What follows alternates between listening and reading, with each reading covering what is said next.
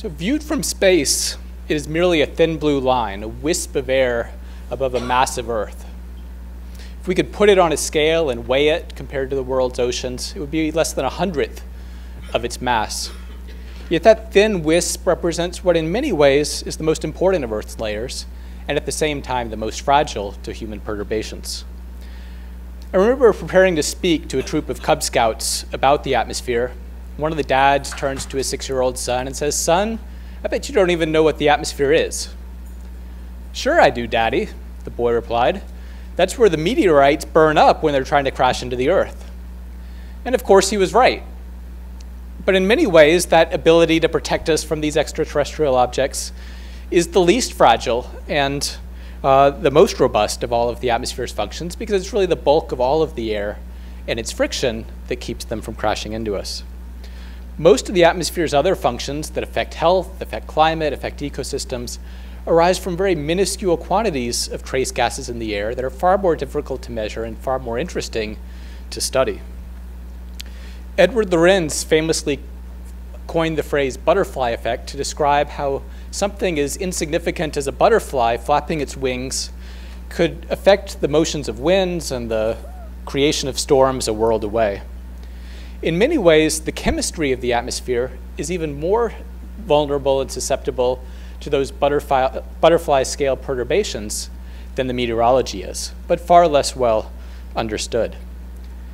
Things are rather stable when it comes to inert gases that comprise the vast majority of air we breathe, things like oxygen, nitrogen, argon.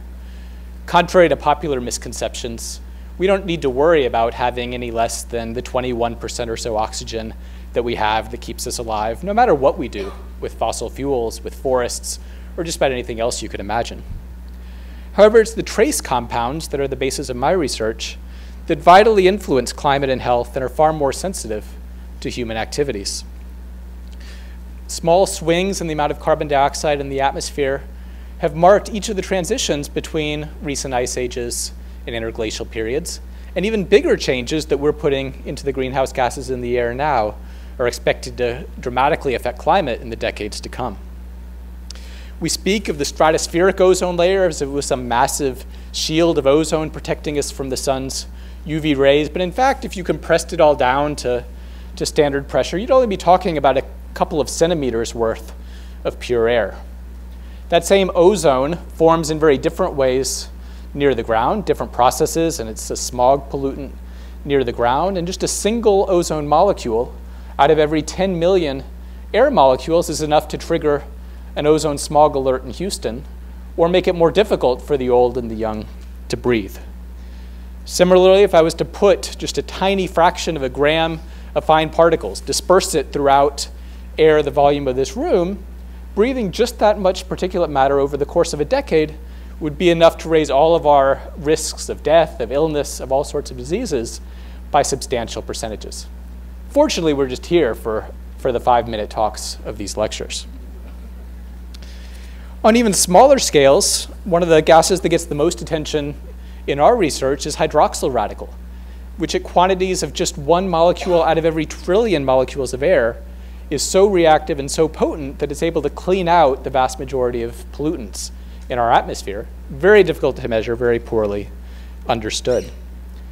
These compounds are fascinating to study not just because of their high potency, but also because of the nonlinearity and the sensitivity with which they respond to human perturbations. How much air quality will improve from a emission control measure depends tremendously on where that measure is done, when it's done, and intricate details of the atmospheric chemistry of that region.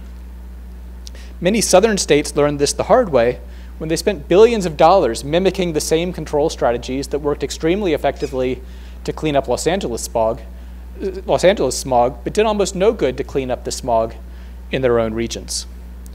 We're also increasingly learning how climate, ozone depletion, and air quality, though in many ways they should be viewed as, as three separate phenomena, actually do interact in highly interesting ways that are still very poorly understood.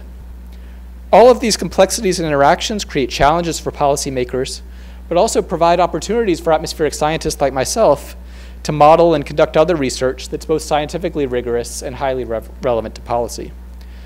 As a math guy who started college searching for some way that I could use that math for the greater good, I found my perfect home in atmospheric science, providing a basis for a career of scientific research. Thank you.